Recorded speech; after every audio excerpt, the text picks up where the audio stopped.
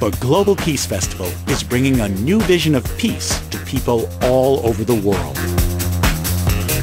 People of all faiths, people of all colors, we're here to let the world know that we can be together.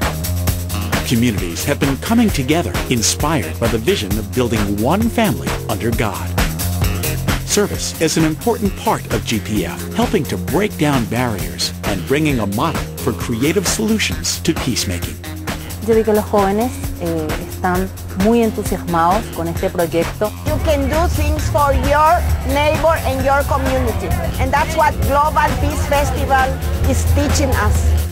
The International Leadership Conferences are an educational network for GPF partners to discuss faith-based cooperation and good governance. I am very much encouraged by the emphasis on the uh, importance of the heart and the spiritual values and the values of families. We answer to a higher authority.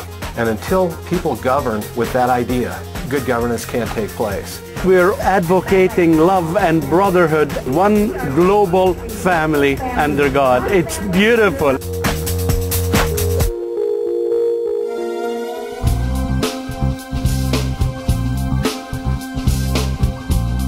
In July 2008, Latin American countries combined resources to host the GPF in Paraguay. Esta presencia de ustedes, la presencia de cada uno de ustedes nos fortalece y nos da esperanza. The famous Jose Luis Chilavert, the soccer star, he felt so inspired about the festival. He was going around all the TV making ads and clearly explaining to the people of Paraguay the significance of the Global Peace Festival. El Global Peace Festival. Como paraguayo me siento orgulloso que se pueda hacer el Festival por la Paz aquí en el Paraguay. Local radio stations invited people to bring food and clothing donations in exchange for tickets. Yo estoy acá para eh, colaborar con los niños, eh, con alimentos o con abrigos. Voy buscando el recuerdo de un pasado tan hermoso. Fuiste indiferente a mi amor.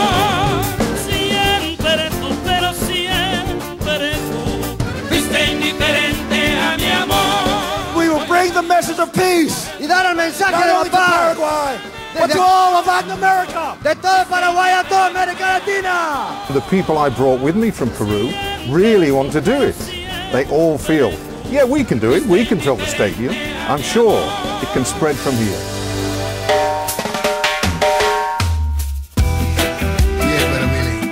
In Kenya, the Global Peace Festival was of special importance, coming on the heels of post-election tensions. The newly elected Prime Minister, Raila Odinga, warmly welcomed the GPF. Wananchi wa Kenya hamjambo.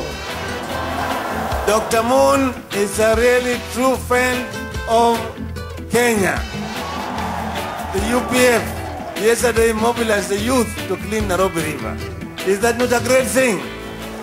We came to clean Nairobi River around the Bakassi constituency because this area is highly polluted. International and local partners worked on this project and are preparing for follow-up activities in partnership with the government of Kenya. A local politician went there and I believe he was actually moved by what he saw, by the work that was going on.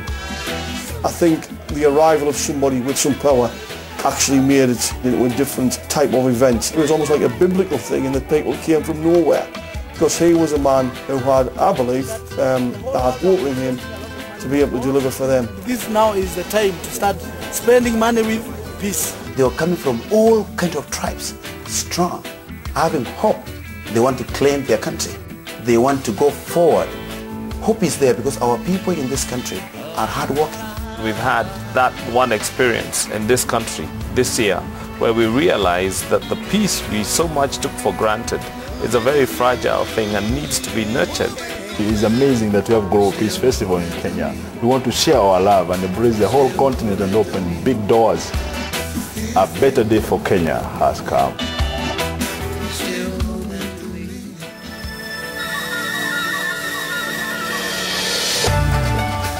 The strategic location of Mongolia as a country bordering both Russia and China represented unique opportunities for the GPF in Asia.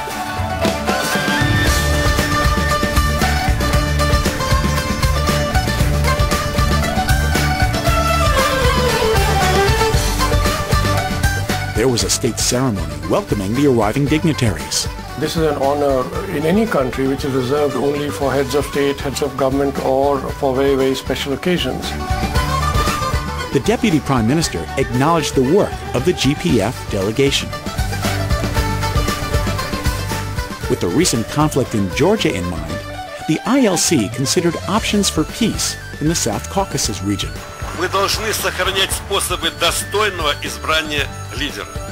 Мы, мы должны находить э, способы достойного взаимодействия с нашими соседями. Acknowledging that youth are the future leaders, GPF organized several projects for area-wide schools and NGOs. Many young kids in kindergarten, they joined in the service program and they were painting walls and cleaning yards. It's such a wonderful because this means that they are cleaning the future and painting their future in a bright smile. The grand finale brought tens of thousands of Mongolians to celebrate the festival in Sukhbaatar Square.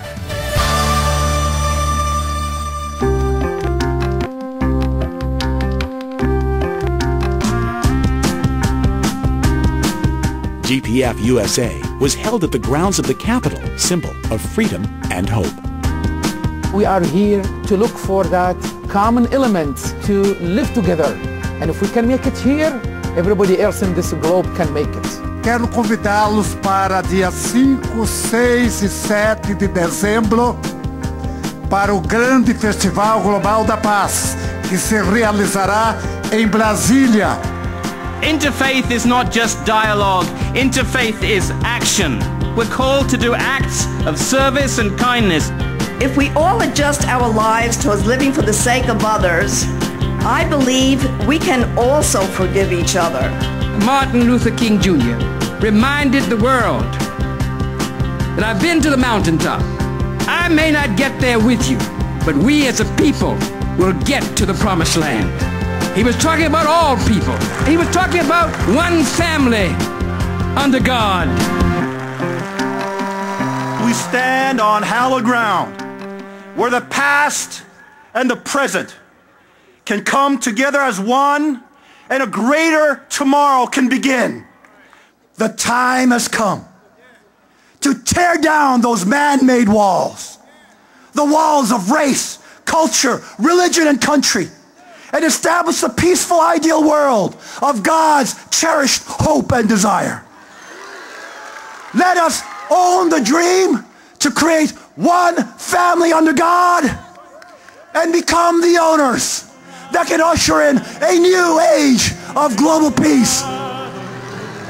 Thank you very much. May God bless you and your families and this great nation of America.